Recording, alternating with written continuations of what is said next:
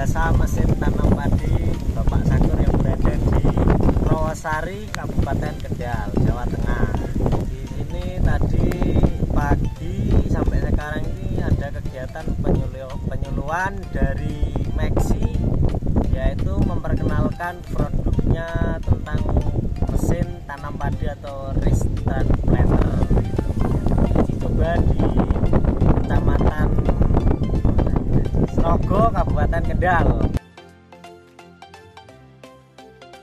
Kalau menurut saya pribadi, mungkin dari segi uh, biaya lebih apa lebih murah daripada tanam manual karena kan tanam manual itu repot harus bikin lalahan terus nyebar masih ada pupuk lagi gitu kan kalau menggunakan apa mesin tanam padi itu kan ada jasanya tinggal kita bayar terima jadi gitu. Jadi di, tinggal apa tunggu di rumah ke sawah lagi udah jadi tanaman gitu. Nggak terlalu repot gitu.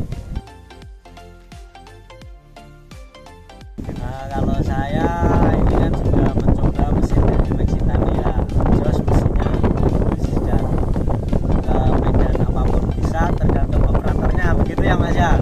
Tapi kalau apa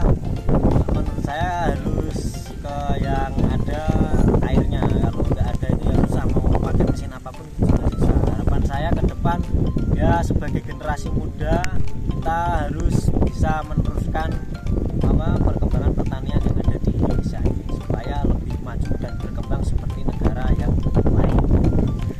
Maksi Tani panennya maksimal, untungnya banyak. Maksi Tani, panennya maksimal, untungnya banyak.